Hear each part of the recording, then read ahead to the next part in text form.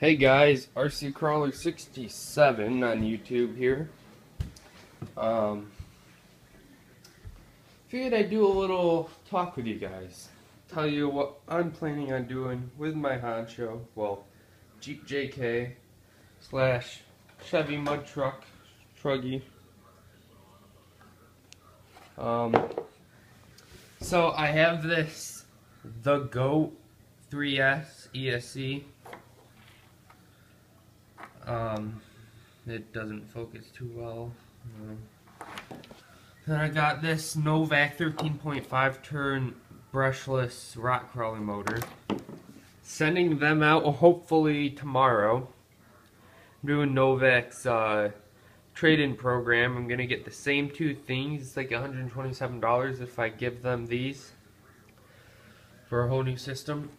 Uh, so adios to these when I get the new ones. I am going to do an unboxing video for you guys because this is what I'll be running permanently until it either burns out or breaks in my Jeep JK slash mud truck. I will probably get this waterproofed at one point with my new ones.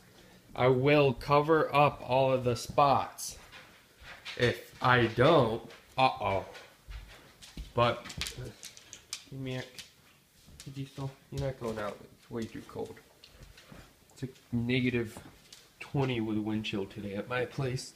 So, it's not cold at all, is it? Well, if you want to go potty, you're going quick. You want to go, Diesel? No? Yeah. Yeah, so I'm gonna go show you my truck the way it's sitting right now.